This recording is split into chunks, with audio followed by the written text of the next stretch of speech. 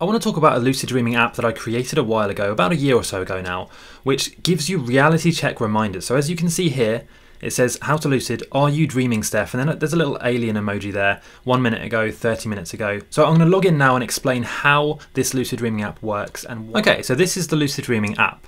The more views this video gets, and also the more supporters I have on Patreon, the faster it will become on Android. But I'm planning to release it on Android hopefully in the next six months to a year.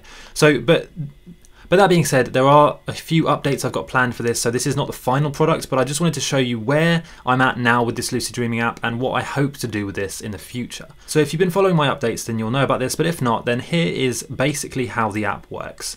So you'll log in here and you'll see that this is uh, my logo here, and uh, there's a link to watch my videos, and then it basically just says a little bit about me. Thanks for downloading, and uh, hope you enjoy the app. That's the main home screen. That's pretty much irrelevant for most of you. So here is the main features. So you can go here and you can add a dream journal entry. So you can put the title, let's say if your dream was something like uh, you were climbing a skyscraper, you would put the title there, climbing skyscraper, maybe you put a little emoji there so you remember it. If it was lucid, you can check this box that says lucid, and then it will be automatically logged as a lucid dream and you can search back for lucid dreams and non-lucid dreams, which I'll show you in a second. Then you can describe the dream. I was climbing a skyscraper and Superman knocked me off. Okay, so then you can, it logs the date automatically, the date when you had the dream here, but you can also change the date if you want to backdate it, for example. You then save the dream and it automatically logs it on the month where you had it. So you can look back on your dream journal, you can search through here for keywords. So for example, skyscraper, and it would list all the dreams in which you've mentioned a skyscraper. So then you can click on the entry and read it again. Very useful. You swipe back to go backwards. You can also go into the month and then search through all dreams, all your lucid dreams, all your non-lucid dreams. And you'll notice that when I click non-lucid, the dream journal entry I just wrote disappears because it's not a lucid dream. So that functionality is very useful for, for looking back and seeing wh which lucid dreams you had, which times you didn't have a lucid dream, and so on. Now, I've explained in previous videos why it's important to keep a dream journal on your phone, simply because you're always going to have your phone by your bed, and it's something which you can search through in the future. You can look back through and just search for all of the dreams you had about a certain keyword or a dream sign, meaning it's easier to do reality checks and become lucid.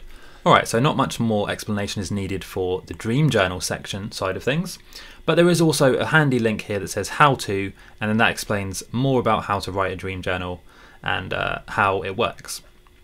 Now, one thing I want to say straight away about this, I know you're probably thinking this is a very bright app, there's a lot of white space here, and for nighttime, that's probably going to be too bright when you're trying to write a dream at 3am. I understand that.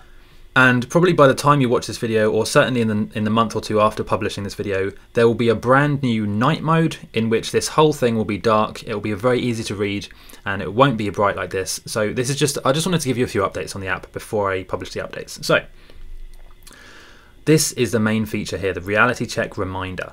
So as I'm sure you're aware, it's important to do reality checks throughout the day because they're going to show up in your lucid dreams or in your normal dreams, I should say, and help you become lucid.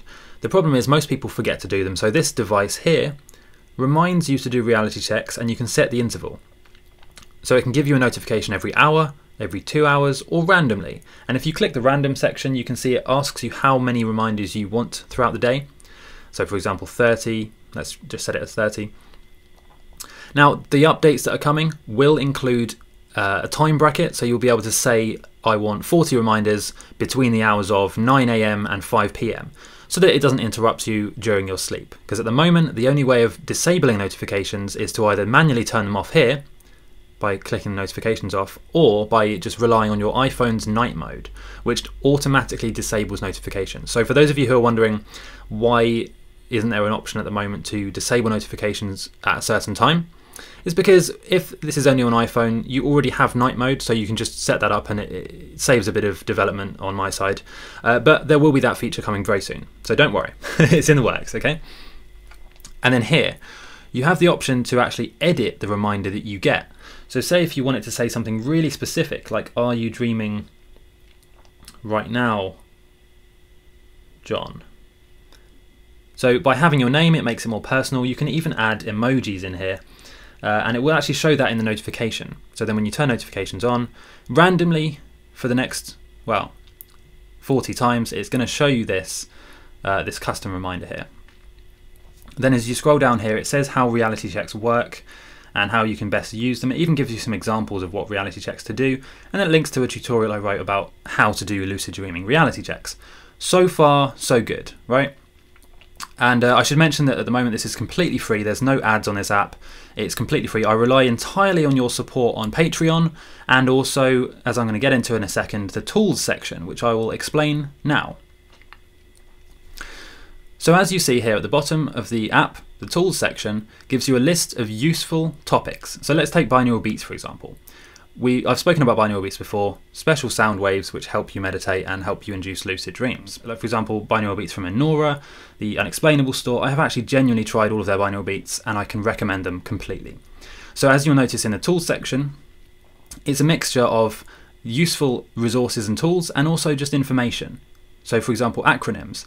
It tells you exactly what all the acronyms mean so that when you're going through lucid dreaming forums or whatever, or when you're talking to your friends about lucid dreaming, you can actually use acronyms so uh, you can understand them all here. There's loads of them that I wrote for you.